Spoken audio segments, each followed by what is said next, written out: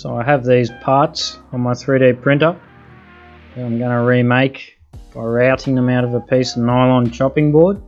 I need to do these parts because over they're about two years old and the PLAs started flowing out of the way and starting to crack. So it seems like a perfect job for my mostly printed CNC. So these are the parts here inside of CAD. I'm going to be routing these out of some nylon chopping board. So obviously I won't be able to do the holes coming straight in on the front face but I'll be able to get the majority of it routed out out of nylon. So first up what I've got to do is back screw the nylon onto a bit of scrap timber because I want to to get the parts I need I want to surface the entire thing. So I'm just gonna back screw it onto this piece of timber and then I'll I'll put my hold downs onto onto the timber instead of the nylon. That way I can surface the entire part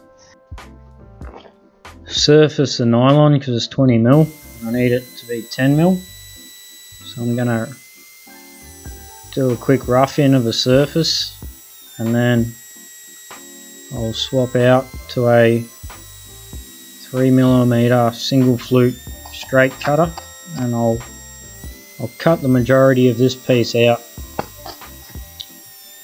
And it should be should be one more piece of the puzzle knocked over my next 3D printer build. It's just a quick one this one. Thanks for watching.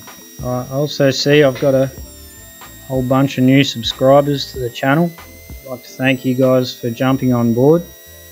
And if you already haven't subscribed, I welcome your subscription.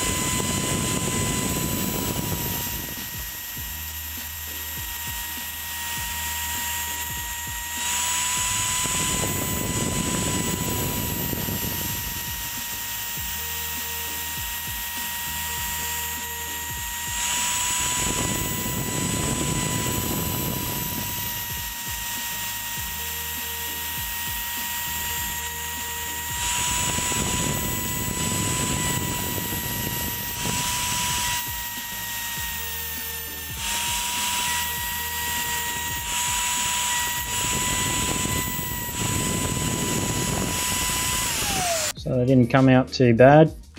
Still got a bit of cleanup to do. But they're definitely going to be more than good enough for what I need them for. It's definitely much better than using PLA.